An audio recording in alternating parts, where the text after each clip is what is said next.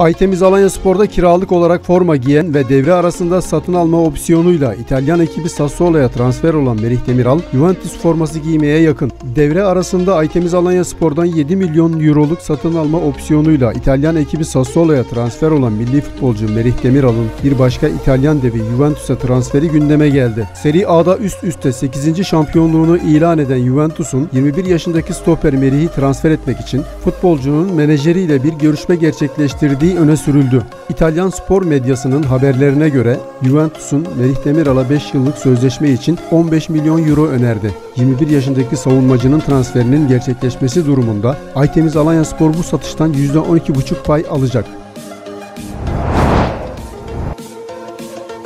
A milli takımımızın Yunanistan ve Özbekistan'la oynayacağı özel maçlarda 2020 UEFA Avrupa Futbol Şampiyonası elemelerinde Fransa ve İzlanda ile yapacağı karşılaşmaların aday kadrosu açıklandı. Aday kadroya Alanya Spor'dan Efecan Karaca ile Ozan Tufan da davet edildi.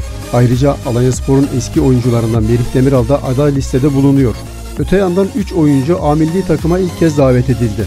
Antalya Spor'da forma giyen Nazım Sangare ve Atikar Konya Spor'da görev yapan Ömer Ali Şahiner ile Bursa sporlu Umut Meraş ilk kez milli takımda forma giyecek. A milli takım teknik direktörü Şenol Güneş tarafından belirlenen kadroda şu futbolcular yer alıyor.